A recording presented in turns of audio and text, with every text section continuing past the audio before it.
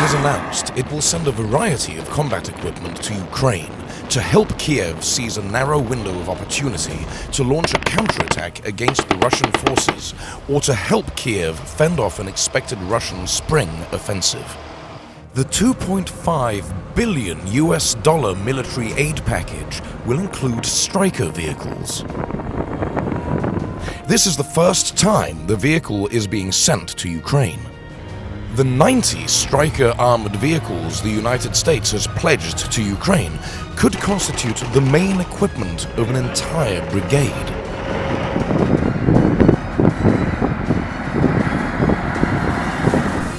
This is Military Mechanics, and in this episode, we will look at the Stryker armored vehicles.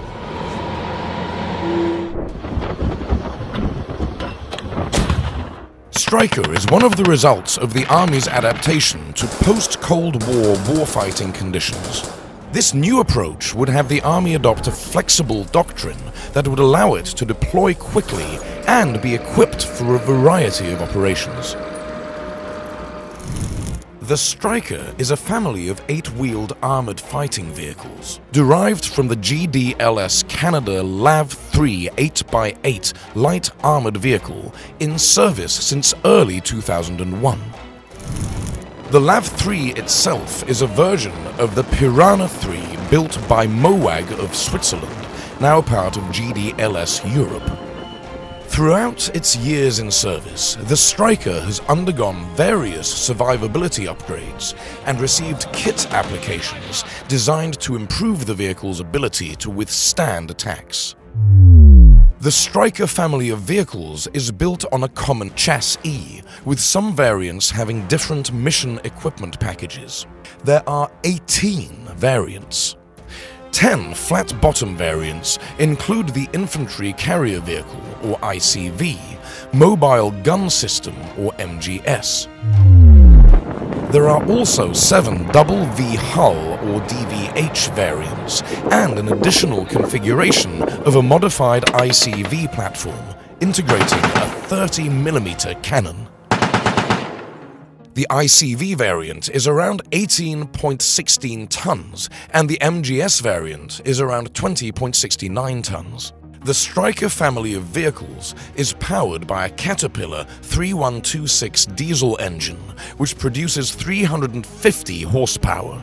This gives the vehicle a maximum speed of up to 60 miles per hour. Driving wheels can be switched between 8x4 and 8x8 configurations on roads and rough terrain. The vehicle also has a central tire inflation system that allows it to adjust to different terrains, allowing it to travel further across country. The Stryker has run flat tires and can travel a few miles before they completely degrade. The Stryker is tougher than many other armored personnel carriers. The front arc can withstand hits from 14.5mm heavy machine gun rounds. The armor provides all-round defense against 7.62mm NATO ball rounds. The ceramic add-on armor can also be installed to provide all-round protection against 14.5mm armor-piercing rounds. The interior of the vehicle is lined with two protect the crew and passengers from spalling. To withstand mine blasts, the undercarriage was reinforced. Strykers in combat zones are outfitted with steel cages known as slat armor, which provide protection against anti-tank rockets and missiles.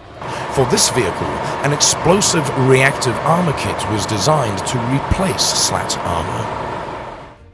The Basic Infantry Carrier Vehicle, or ICV, holds a two-man crew and a squad of nine infantry soldiers with full gear. Since communication is essential on any battlefield, this vehicle's commander has an FBCB2 digital communication system that allows communication between vehicles through text messaging and a map network, as well as with the battalion. To maintain situational awareness, the vehicle commander has seven M45 periscopes and a thermal imager display with video camera. The Stryker driver has three M17 periscopes and a DRS Technologies ANVAS5 Driver's Vision Enhancer or DVE, as well as the Check 6 Thermal Imaging Driver's Rear View Camera or DRVC system. The M1126 ICV is the baseline vehicle for the Stryker family.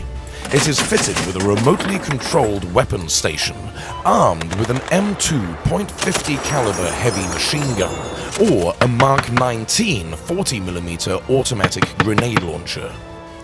This family also has variants with more advanced and heavier weapons.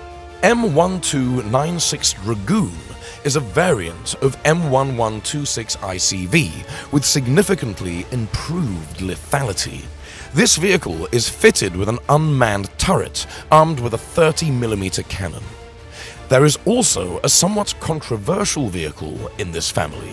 The M1128 MGS, the mobile gun system, is fitted with a General Dynamics Land Systems, formerly Teledyne Vehicle Systems, low-profile turret and a M68A1E4 105mm rifled tank gun. As a secondary weapon, it has a .50 caliber M2 and 7.62mm machine gun. The Army has decided the time has come to retire the M1128 Stryker mobile gun system after a study showed it is obsolete and that its out-of-date cannon and automatic loader have systemic issues.